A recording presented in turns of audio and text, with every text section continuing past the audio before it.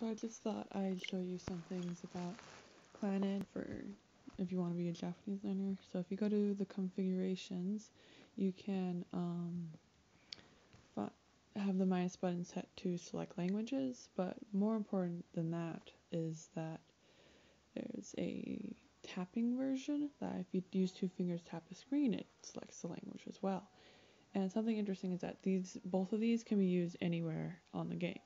So you could tap in like the home screen or in the naming scene or in settings. All of the areas will allow you to change the name, the language, even in like the context, I mean the user manual. Um, other than that, when you're um, in Japanese, there's a couple fonts you can pick from that let the kanji look a little bit different.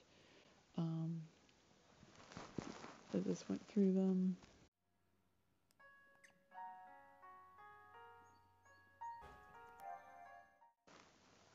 Anyway, so yeah, when you play the game, it um will have in Japanese and you just need to tap it or click the button at the top and it'll switch back and forth and it works in the settings of the game as well. So you could just tap the screen if you're confused.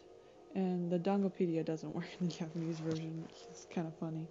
Uh, other than that these are not direct translations but they're pretty close to um, what they're saying.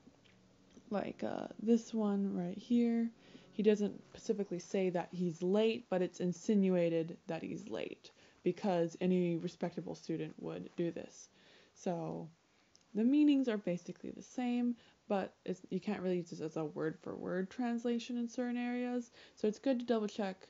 Um, so like this is what he's trying to say, but uh, you can't like just go to the English version and be like, yes, that's what this word means, type of thing. So you would need a um, dictionary for reading Tomoyo's lines.